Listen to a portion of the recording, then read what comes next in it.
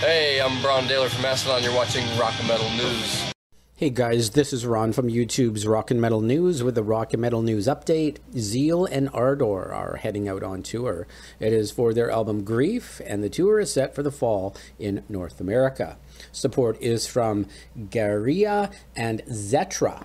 Tickets will be up on July 19th. Greif will be out on August the 23rd. They do have some incredible songs out now from that, some singles they've dropped. So check those out on digital retailers and streamers now. Let us know what you think of the music so far, and it is spectacular. So can't wait for this album. This should be just a real cool live show as well. Check out their post on Facebook and the link in the description. They're kicking off November 23rd in Philadelphia, and they go to December 18th, finishing in Dallas, Texas. And they do hit uh, a couple of dates in Canada as well. So check out all the tour dates in the description. This is Ron from YouTube's Rock and Metal News. Thanks for tuning in.